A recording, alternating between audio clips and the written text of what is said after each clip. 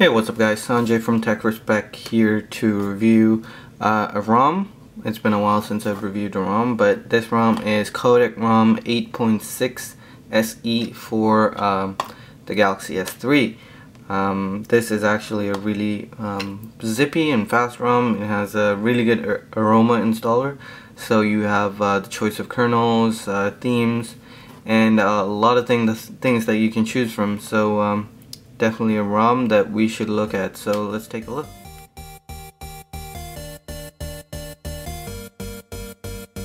Alright, so if you choose, uh, you've got a choice in themes. I have chosen the ICS uh, or um, Jelly Bean theme here.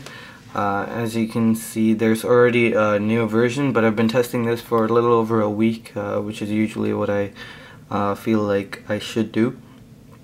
But um, this has the uh, jelly bean theme. As you can see we've got this uh, the the clear uh, clear notifications uh, button over there and the settings button with the jelly bean uh, font and uh, status bar. Quick settings is, seems to be taken from Samsung and other jelly bean based ROMs. Um, but as when you get here you start to see similarities to the Samsung TouchWiz interface a little bit. Uh, but if we go to I'm running the Siyah kernel and uh, the ROM version and as you can see everything. It's based on uh, Android Jelly Bean. Uh, still not 4.2 because uh, of course the Galaxy S3 does not have any leaks or anything of that sort from Android 4.2 considering it just came out. Um, but anyway, let's talk about the ROM.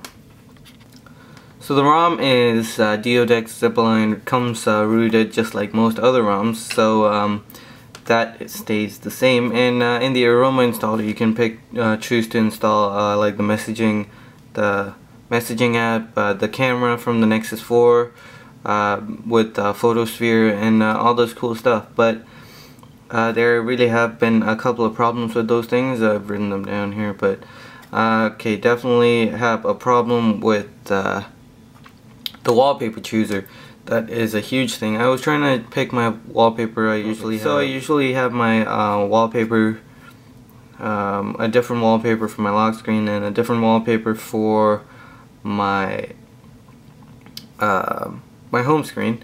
But uh, as you can see if I go to my home screen I get to be I, I get to choose from the gallery and um, the wallpaper chooser Apex launcher uh, whatever I want right but if I go to lock screen, I only get to choose from uh, the, the stock wallpapers from Samsung. And if I go to home and lock screen, then I get to choose, again, live wallpaper or the stock wallpapers. So that's a bit of a problem. I'm not sure if you guys would run into that. So um, other um, problems I've had with the Nexus 4, uh, with the Nexus 4 built-in uh, apps, of course, um, is that I've got a problem with the messaging app where I'm not going to open it up, but um, we have, uh, instead of a thread for every contact who messages me, I have a new thread for every message I get. I'm not sure, again, if this is a known issue, but um, it's some uh, something to be concerned about. It's very cluttered in there and uh, um, very disappointing, but uh, obviously it's not the ROM's fault again, so um, you should definitely uh, think about that before installing. Uh, one thing to note is that we do have a new um, a new ROM available. There was a notification a little while ago.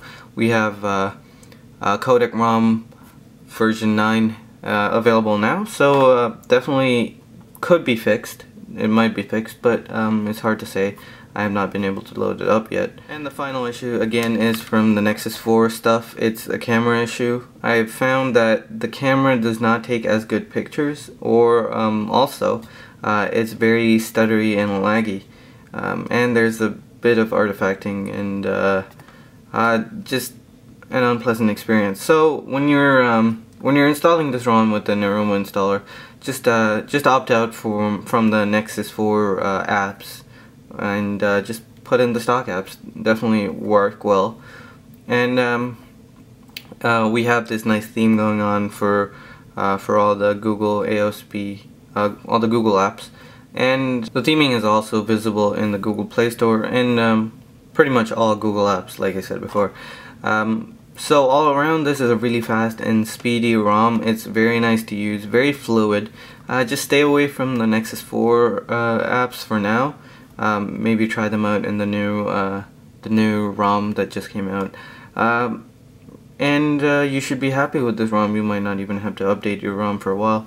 It's showing some lag now, but um, that's probably something that's just happening for the camera.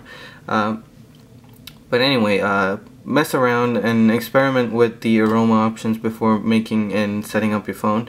Uh, that's the best way to go with uh, aroma installers. Uh, find the perfect kernel that you like, uh, find the perfect launcher you like, and uh, just set up your phone after. Um, so that's about it for this review of Codec ROM uh, 8.6 SE, and thank you guys for watching. I'll talk to you guys later.